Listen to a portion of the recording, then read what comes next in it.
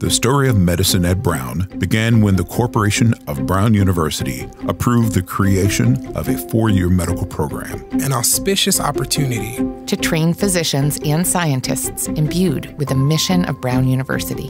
The innovative curriculum for the program in medicine would provide physicians with an understanding of the broadest aspects of human experience. Our students considered themselves not as the great patriarchs bringing the gift of medicine, but as fellow human beings, fallible, people who will become sick themselves, perhaps even die. The program's first students and faculty would become the architects of a new medical school. A place where passion for scientific discovery is matched only by compassion for humanity.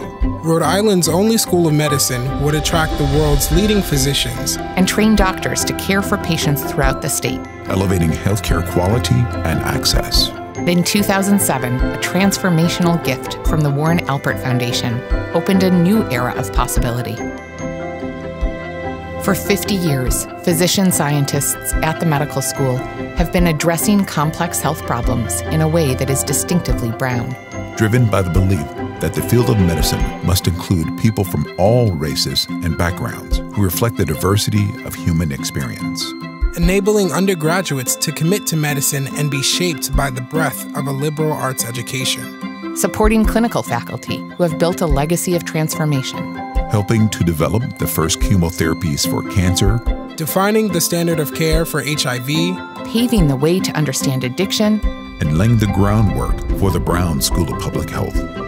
Today, we see the excellence of the Warren Alpert Medical School in service to local communities. Brown medical students and faculty provide care wherever they are needed.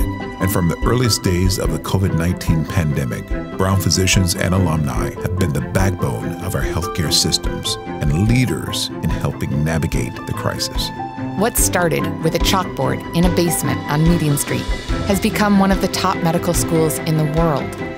Now, every day, in labs across campus and in Rhode Island teaching hospitals, faculty seek treatments and cures that will define the next 50 years of medicine at Brown. Physician scientists are developing a vaccine for malaria, finding ways to prevent Alzheimer's disease, discovering new cancer therapies, confronting health disparities and racism in medicine, and preparing a new generation of doctors.